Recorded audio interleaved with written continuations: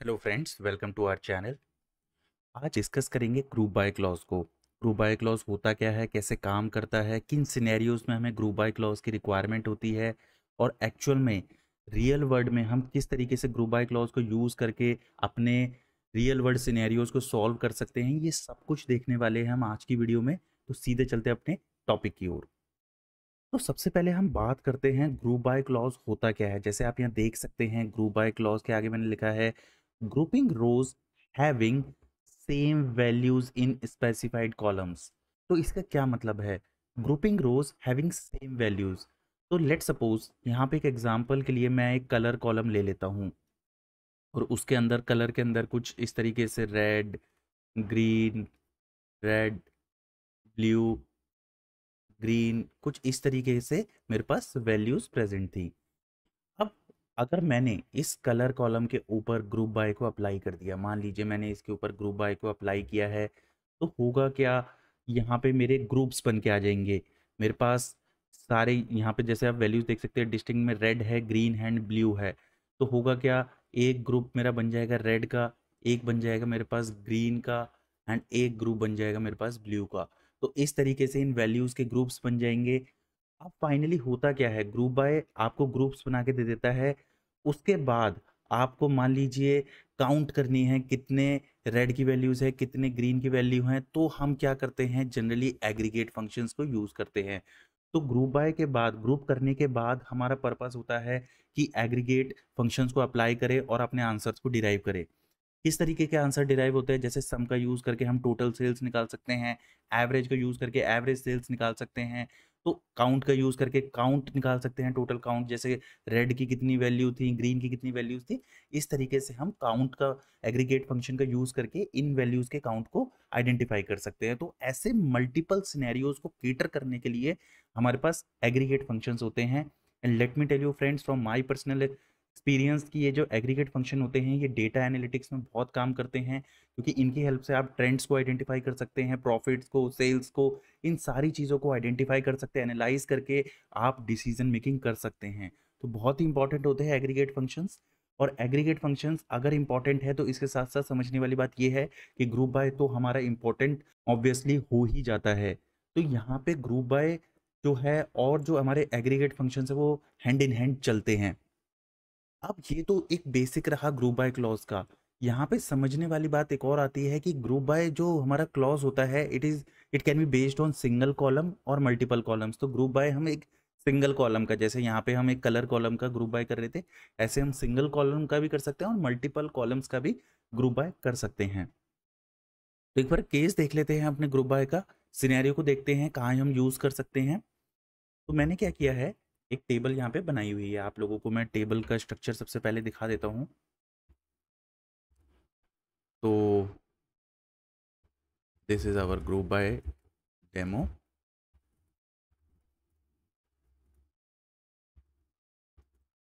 मैंने एक stationery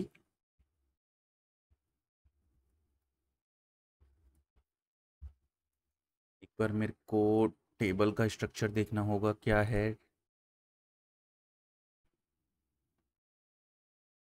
Stationery shop. It's not stationery sales. It's a stationery shop. और मुझे डेटाबेस का रेफरेंस भी लेना पड़ेगा यहाँ पे। तो डेमोज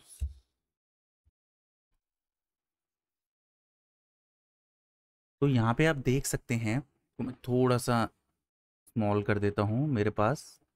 अपना जो टेबल का स्ट्रक्चर था स्टेशनरी शॉप एक टेबल थी मेरे पास, जिसके अंदर स्टेशनरी शॉप के अंदर आइटम्स के डिटेल्स थे। तो अभी के लिए एग्ज़ाम्पल को सिंपल रखने के लिए मैंने क्या किया है, यहाँ पे केवल एक सिंगल आइटम की बात की है। तो जैसे आप यहाँ देख सकते हैं, मैंने केवल एक ही आइटम को यहाँ कंसीडर किया है पेन को। तो हमारे पास पेन की डिटेल्स हैं पेन के डिफरेंट कलर्स थे, जैसे रेड कलर के पेन थे, ग्रीन कलर के पेन थे एंड ब्लू कलर के पेन थे। तो डिफरेंट कलर्स के पेन थे मेरे पास इस स्टेशनरी शॉप में। लेट सपोज़ कोई A B C stationery shop थी। इस स्टेशनरी शॉप में अभी के लिए आप ये सोच सकते हैं कि ये केवल अभी पेन को ही सेल करता है, पेन्स को सेल करता है। तो यहाँ पे क्या था, इसके पास रेड कलर के पेन थे, इसके पास ग्रीन कलर के पेन थे एंड इसके पास ब्लू कलर के पेन थे। अब तो यहाँ पे क्या चीज़ हमें समझनी है कि इस जो हमारा एबीसी स्टेशनरी शॉप थी, इसको अपने काउंट का आइडिया नहीं था कि उसके पास अभी कितने रेड कलर के पेन थे, कितने ग्रीन कलर के पेन थे और कितने ब्लू कलर के पेन थे, ताकि वो कोई डिसीज़न ले पाता। तो अभी के केस में क्या था लेट सपोज़ एक रिक्वायरमेंट आई मेरे पास that is the requirement that to identify और इस तरीके से लिख सकते हैं to identify count of different color pens. तो डिफरेंट कलर के पेन के काउंट को आइडेंटिफाई करना था। अब ये जो A B C stationery shop थी, इसको काफ़ी कन्फ्यूज़न था कि भाई, मैं आउटपुट को कैसे डिराइव करूँ यहाँ पे? तो उसके लिए, क्योंकि इसके पास पेन्स की इन्वेंट्री है तो इसको ये देखने की भाई, किस तरीके से कितने कलर के कितने पेन हैं, कि रेड कलर के इसके पास कितने पेन हैं ग्रीन कलर के कितने और ब्लू कलर के कितने हैं। तो यहाँ पे इसको क्या किया, इसने क्या किया, एक लेट सपोज़ एक क्वेरी इसको, इसने रन करी, जिसके अंदर इसके पास ग्रुप बाय था और एक एग्रीवेट फ़ंक्शन काउंट था। आप किस तरीके से ये आउटपुट डिराइव करेगा, उसको देखते हैं। आपको क्वेश्चन समझ आ गया है to identify count of different color pens output देखते हैं किस तरीके से ये एबीसी स्टेशनरी शॉप वाला यहाँ पे डिराइव करता है। तो इसको क्लियर कर देते हैं। इसको थोड़ा ड्रैग करके नीचे ले आते हैं। अब यहाँ पे ये क्या करने वाला है स्टेशनरी शॉप वाला? ये क्या करेगा, अपने हमारे ग्रुप बाय क्योंकि मैंने आपको बताया था ग्रुप बाय क्या करता है? ग्रुप्स क्रिएट करता है और यहाँ पे उसे काउंट परफॉर्म करना है या यानी काउंट करना है डिफरेंट कलर के पेन्स का तो सबसे पहले उसके पास डिफरेंट कलर के ग्रुप्स का तो पता होना चाहिए। लेट सपोज़ लेट सपोज़ सबसे पहले वो क्या करेगा? रेड कलर के पेन्स को एक साथ ले लेगा ब्लू कलर के पेन्स को एक साथ ले लेगा एंड ग्रीन कलर के पेन्स को एक साथ ले लेगा। एंड फाइनली इस पे क्या करेगा? काउंट इनका अप्लाई करेगा काउंट इनके ऊपर काउंट अप्लाई करेगा या काउंटिंग करेगा और उसके बाद ही उसके पास डिफरेंट कलर के पेन्स के काउंट आ पाएँगे। तो सेम लॉजिक जैसे हमने यहाँ देखा, सबसे पहले उसे ग्रुप्स बनाने हैं और फिर उसको काउंट करना है। सेम फंडा हम अपने माई सीक्वल में यूज़ करने वाले हैं। हम क्या करेंगे? ग्रुप्स बनाएँगे और फिर काउंट एग्रीगेट फ़ंक्शन को अप्लाई कर देंगे काउंट निकालने के लिए कि कितने कलर के कितने पेन्स हैं। तो यहाँ हम क्या कर रहे हैं? लेट सपोज़ हम ग्रुप बाय कर देंगे कलर के बेसिस पे। ये परफेक्ट हो गया है हमारे पास कलर के बेसिस पे ग्रुप बाय कर दिया है हमने। एंड यहाँ पे हम कलर कॉलम को लेंगे और काउंट कर देंगे हम आइटम यूनिक की हेल्प से। आइटम यूनिक कोड ये हम यहाँ लिख देंगे एज टोटल काउंट और इस तरीके से क्या होगा? यहाँ पे एक बार मैं इस क्वेरी को रन करता हूँ। तो आप देख सकते हैं इसको थोड़ा सा मैं ड्रैग करके ऊपर ले आता हूँ। तो रेड, ग्रीन, ब्लू हर कलर के कितने पेन्स हैं यहाँ पे रिफ्लेक्ट हो गए? तो मैंने यहाँ सिंपली किया क्या? यहाँ पे मैंने ग्रुप बाय कर दिया कलर को। यानी मुझे कलर के बेसिस पे रेड के कितने हैं, ग्रीन के कितने ब्लू के कितने हैं, उसके बेसिस पे ग्रुप्स बनाने हैं। ठीक है? पहला काम खत्म कर दिया ग्रुप बाय की हेल्प से मैंने ग्रुप्स बना लिए।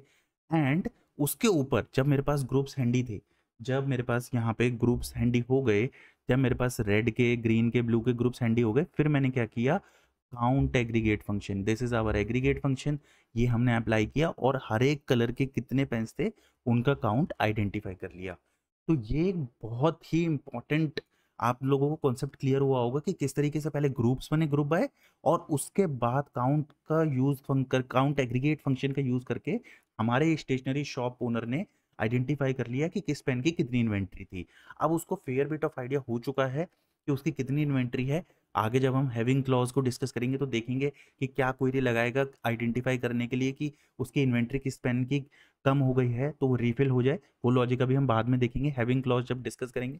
अभी के लिए आप ये देख लीजिए, काउंट आगे, निकल के आ गया है हर एक डिफरेंट कलर के पेन्स का। अब क्या होगा? ये हमारा बेसिक, हमने ग्रुप बाय डेमो देखा।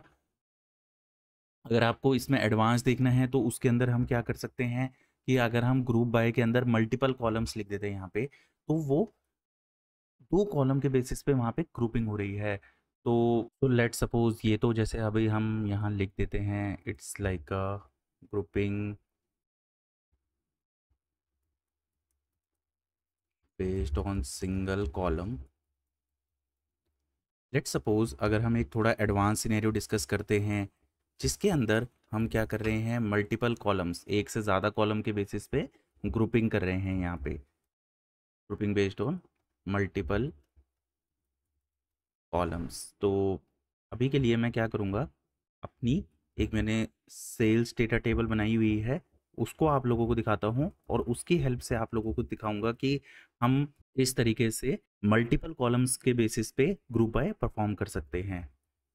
तो अगर मैं इस क्वेरी को एक बार इसको हम, ओके, अगर मैं इस क्वेरी को यहाँ रन करता हूँ तो ये मेरे पास एक सेल्स डेटा टेबल बनी हुई है।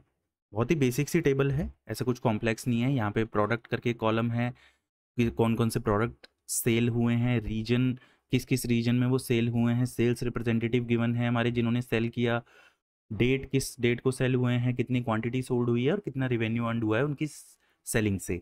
तो इस तरीके से डेटा हमारे पास गिवन है। अब हम क्या करने वाले हैं?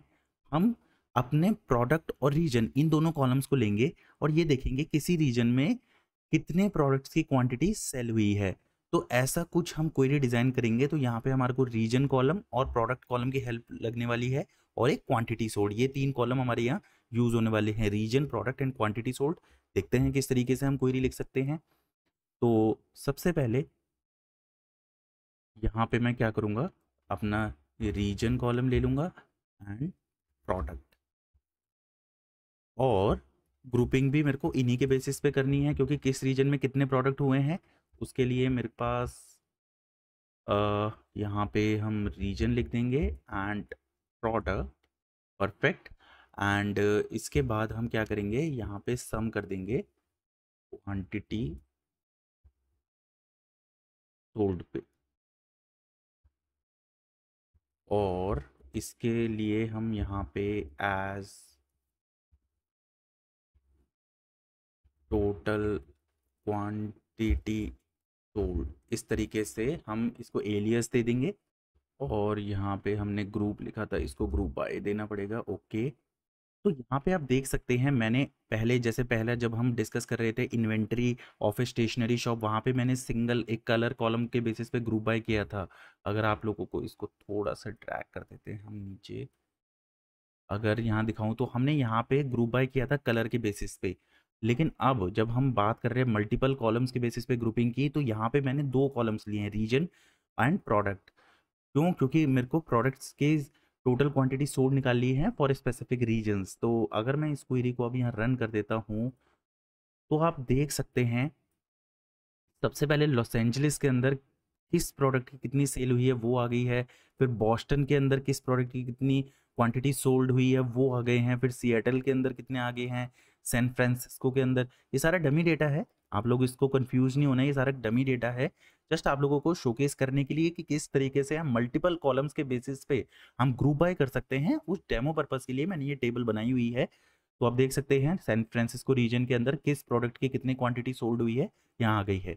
तो जब ऐसे कुछ सिनेरियो होते हैं जहाँ पे हमारे को, जैसे अभी हम देख सकते हैं कि एक रीजन में कितने प्रोडक्ट सेल हुए जब हम एक से ज़्यादा कॉलम्स के बेसिस पे हमें ग्रुपिंग परफॉर्म करनी होती है, वहाँ पे हम ग्रुप बाय के अंदर मल्टीपल कॉलम्स को मेंशन करते हैं। जैसे ये सिनेरियो था, यहाँ पे हमें क्या था, रीजन एंड किस रीजन के अंदर कितने प्रोडक्ट सोल्ड हुए, ऐसा कुछ रिक्वायरमेंट आई तो रीजन और प्रोडक्ट्स, दो कॉलम्स थे हमारे पास तो दोनों को ग्रुप बाय में हमें यहाँ मैंशन करना होगा। इस तरीके से आप यहाँ देखा, यहाँ पे हमने आउटपुट डिराइव कर लिया, total quantity sold for different products in a specific region. तो जैसे सैन फ्रांसिस्को में टोस्टर की कितनी सेल हुई, वो हमने यहाँ पे आइडेंटिफाई कर लिया कि कितने क्वांटिटी सोल्ड हुई, हमने यहाँ आइडेंटिफाई कर लिया। सिमिलरली डेलिस में रेफ्रिजरेटर 220 क्वांटिटी सोल्ड हुई है, वो हम इजीली यहाँ पे आइडेंटिफाई कर लिया। तो ये थोड़ा सा एडवांस सिनेरियो था ग्रुप बाय का, पर समझना बहुत इंपॉर्टेंट है कि ग्रुप बाय को किस तरीके से हम यूज़ करते हैं ग्रुप्स क्रिएट करने के लिए और जब हमारे पास ग्रुप्स आ जाते हैं, उसके बाद उस ग्रुप में हम क्या करते हैं, अपना एग्रीगेट फ़ंक्शन अप्लाई करते हैं। तो इस केस में क्या किया, हमने अपना ग्रुप बना लिया रीजन और प्रोडक्ट के बेसिस पे। जैसे ये रीजन और ये प्रोडक्ट्स के बेसिस पे ग्रुप बना लिया, ये हमारे पास ग्रुप्स बन के आ गए। एंड उसके बाद मैंने क्या किया, एग्रीगेट फ़ंक्शन यहाँ पे अप्लाई कर लिया। This is our aggregate function. ये हमने यहाँ पे अप्लाई कर लिया ऑन दिस ग्रुप और हमने टोटल क्वांटिटी जो सोल्ड हुई है वो आइडेंटिफाई कर ली। तो this is all about group by clause. मुझे उम्मीद है ग्रुप बाय क्लॉज आपको समझ आया होगा। अब आगे चल के हम हैविंग क्लॉज को देखेंगे और देखेंगे किस तरीके से हैविंग क्लॉज यूज़ होता है। ओके okay, तो अब एक बार हम अपने हैविंग क्लॉज को देख लेते हैं। तो हैविंग क्लॉज में यहाँ पे मेंशन है it is use when we work on aggregated data. तो अभी जब हम थोड़ी देर पहले ग्रुप बाय को डिस्कस कर रहे थे जब हम अपने ग्रुप बाय क्लॉज को डिस्कस कर रहे थे तो वहाँ हमने यही देखा कि ग्रुप बाय की हेल्प से हम अपने डेटा को एग्रीगेट ही करते हैं। जैसे यहाँ पे हमने देखा था कि हमारे पास एक कलर कॉलम था और कलर कॉलम के अंदर डिफरेंट वैल्यूज़ थी, जैसे रेड, ग्रीन, ब्लू, इस तरीके से मल्टीपल वैल्यूज़ गिवन थी। तो हम क्या कर रहे थे, ग्रुप बाय इस जब हमने इस कॉलम, कलर कॉलम पे अप्लाई किया तो हमने रेड के ग्रुप्स बना लिए, हमने ग्रीन का ग्रुप बना लिया, एंड हमने ब्लू का ग्रुप बना लिया। तो बेसिकली हमने रेड के डेटा को एग्रीगेट कर लिया ग्रीन के डेटा को एग्रीगेट कर लिया एंड ब्लू के डेटा को एग्रीगेट कर लिया था यहाँ पे ग्रुप्स बना के। अब जब हमारे पास एग्रीगेटेड डेटा आ जाता है तो हम एग्रीगेट डेटा को अगर हमें फ़िल्टरिंग करनी है, अगर मेरे इस एग्रीगेटेड डेटा पे, अगर मुझे इस एग्रीगेटेड डेटा पे फ़िल्टरिंग करनी है तो मैं यूज़ करता हूँ अपना having clause it is as important as that मैं हैविंग क्लॉज का यूज़ तब करूँगा जब मेरे को फ़िल्टरिंग करनी है अपने एग्रीगेटेड डेटा पे। तो मेरे पास एग्रीगेट डेटा हो गया है मेरा। एग्रीगेटेड डेटा पे अब मुझे फ़िल्टरिंग अप्लाई करनी है तो मैं यूज़ करूँगा हैविंग क्लॉज तो यहाँ पे यही मैंने बात लिखी हुई है use when we work on aggregated data तो जब मेरा एग्रीगेट डेटा एग्रीगेटेड डेटा आ गया है तो उस पर फिल्टरिंग परफॉर्म करनी है यूजिंग हैविंग क्लॉज यहाँ पे मैंने एक इंपॉर्टेंट पॉइंटर लिखा है, ये समझना भी बहुत ज़रूरी है कि वेयर एंड हैविंग में क्या डिफरेंस है। जनरली इंटरव्यूअर इस तरीके के क्वेश्चन बहुत पूछ लेता है हमसे। इंटरव्यूअर हमसे इस तरीके क्वेश्चन काफ़ी पूछता है कि वेयर और हैविंग में क्या डिफरेंस है। तो they both use for filtering दोनों फ़िल्टर के लिए ही यूज़ होता है रिकॉर्ड्स को फ़िल्टर करते हैं। बट अगर बात आती है बिफोर ग्रुपिंग जब हमने एग्रीगेशन परफॉर्म नहीं करी है individual rows row by row basis पे अगर फिल्टरिंग हो रही है तो हम यूज़ करते हैं अपने वेयर क्लॉज को। तो रो लेवल अगर हमारी फिल्टरिंग हो रही है तो हम यूज़ करेंगे। वेयर को अभी हमने एग्रीगेशन परफॉर्म नहीं की है। बहुत इंपॉर्टेंट है, एग्रीगेशन परफॉर्म नहीं की है, वेयर क्लॉज। एग्रीगेशन परफॉर्म कर ली है, आफ्टर ग्रुपिंग। आपने एग्रीगेशन परफॉर्म कर ली है, तब हम यूज़ करेंगे हैविंग क्लॉज। तो एग्रीगेशन से पहले वेयर क्लॉज, एग्रीगेशन के बाद जब हमारे पास एग्रीगेटेड डेटा है, उस पर हमें फिल्टरिंग करनी है। एग्रीगेटेड डेटा पे यहाँ पे समझने वाली बात है आफ्टर ग्रुपिंग का मतलब है एग्रीगेटेड डेटा पे अगर हमें फिल्टरिंग अप्लाई करनी है तो हम यूज़ करते हैं हैविंग क्लॉज तो this is something important aggregated data नहीं है सिंपल रो का डेटा है तो हम वेयर क्लॉज अप्लाई करते हैं और एग्रीगेटेड डेटा है, तब हम अप्लाई करते हैं और एग्रीगेटेड डेटा को फ़िल्टर करना है, तब हम अप्लाई करते हैं हैविंग क्लॉज को। एग्जाम्पल्स के थ्रू देखते हैं। हमारे पास अगेन वो स्टेशनरी जो हमारी शॉप थी, जिसके अंदर पेन्स की इन्वेंट्री थी, उसी एग्ज़ाम्पल को यूज़ करके हम हैविंग क्लॉज को समझेंगे। तो यहाँ पे हम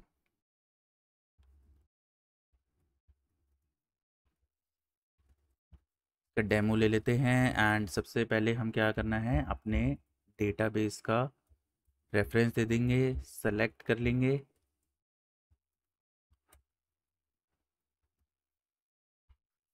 स्टेशनरी शॉप को एंड जब हम इसको रन करते हैं तो मेरे पास स्टेशनरी शॉप वाली टेबल आ जाती है। तो हमने क्या किया था यहाँ पे कलर के बेसिस पे? मैंने एक काम यहाँ पे किया था। ग्रुप बाय कर दिया था कलर के बेसिस पे हमने यहाँ पे। एंड यहाँ पे हम काउंट कर रहे थे कि हर कलर के कितने पेन हैं। तो इंडिविजुअल कलर्स के कितने पेन हैं, उसको हमने यहाँ आइडेंटिफाई किया था कैसे? आइटम यूनिक कोड को काउंट करके। इस तरीके से मैंने क्या किया था, ये अब तक मैंने एक्टिविटी परफॉर्म की थी। जब हम ग्रुप बाय का सिंपल सिनेरियो डिस्कस कर रहे थे सिंगल कॉलम सिनेरियो जब हम सिंगल कॉलम के ऊपर ग्रुप बाय अप्लाई करते हैं उस टाइम मैंने बताया था कि हमें सिंपली क्या करना था कि जो मेरे पास, हमने क्या किया था, हमारे पास इन्वेंट्री में हमारे ए बी सी हमारे पास क्या था? A B C stationery shop थी। इसकी इन्वेंट्री में क्या थे? पेन्स पड़े हुए थे केवल। अभी के लिए सिंप्लीफाई करने के लिए हम समझ सकते हैं इसकी इन्वेंट्री में केवल पेन्स थे और पेन्स डिफरेंट कलर के थे। रेड ग्रीन ब्लू इस तरीके से डिफरेंट कलर्स के पेन थे। तो इसने क्या करना था? इसको डिफरेंट कलर्स के कितने पेन हैं? ये आइडेंटिफाई करना था एबीसी स्टेशनरी शॉप को। तो उसने क्या किया? ग्रुप बाय क्लॉज और काउंट एग्रीगेट फ़ंक्शन का यूज़ करके डिफरेंट कलर्स के पेन को आइडेंटिफाई कर लिया था। पर अगर मान लीजिए इसको ये देखना है कि एक इसका एक थ्रेशोल्ड है। लेट सपोज़ लेट सपोज़ इसका एक थ्रेशोल्ड होता है यहाँ पे कि अगर पेंस जो हैं वो लेस देन फाइव हो जाएँगे, जब उनका काउंट लेस देन फाइव हो जाएँगे तो इसके पास एक अलार्म आ जाए। जब कुछ ऐसी कंडीशन इसके पास होती है इसने एक थ्रेशोल्ड सेट किया होता है एबीसी शॉप ने कि अगर मेरे पास किसी भी कलर के, मान लीजिए ब्लू कलर के पाँच पेन से कम हो जाते हैं तो ये मेरे पास एक अलर्ट आ जाए। ऐसा कुछ इसने एक सिनेरियो देखा था तो ऐसे सिनेरियोज में हम हैविंग क्लॉज को यूज़ कर सकते हैं, कैसे कर सकते हैं, देख लेते हैं। तो यहाँ पे इसको मैं अभी के लिए टोटल काउंट लिख लेता हूँ। तो मान लीजिए मेरे पास किसी भी कलर के अगर पाँच से कम पेन आए तो एक अलर्ट आए तो मैंने क्या कर दिया, यहाँ पे हैविंग क्लॉज को यूज़ करूँगा। अब हैविंग जैसे हमने डिस्कस किया था एग्रीगेटेड डेटा पे काम करता है तो यहाँ पे मैंने क्या किया है टोटल काउंट लिख लेंगे हम यहाँ पे एंड लेस देन फाइव तो जैसे ही अगर पाँच से किसी भी कलर के पेन्स का ग्रुप का काउंट कम होता है तो एक अलर्ट आ जाए तो यहाँ क्या होगा, जब भी हम इस क्वेरी को रन कर देंगे तो अब मेरे पास अलर्ट आ गया यस ग्रीन कलर्स के पेन हमारे फाइव से कम हो चुके हैं now it is time to replenish the inventory हमें ग्रीन कलर के पेन्स को दोबारा फिल करना है। यही इंपॉर्टेंट एक एप्लीकेशन होती है हैविंग क्लॉज की, जहाँ पे हम एग्रीगेट डेटा को फ़िल्टर कर सकते हैं। यहाँ पे हमने फ़िल्टर कर लिया। हमारे पास डिफरेंट कलर के ग्रुप्स हमारे डिफरेंट ग्रुप्स थे on the basis of colors like red color blue color green color और जो हमारा ग्रुप था ग्रीन कलर के पेन्स का, वहाँ पे हमारे उस ग्रुप में जो काउंट था पेन्स का, वो फाइव से कम हो गया है।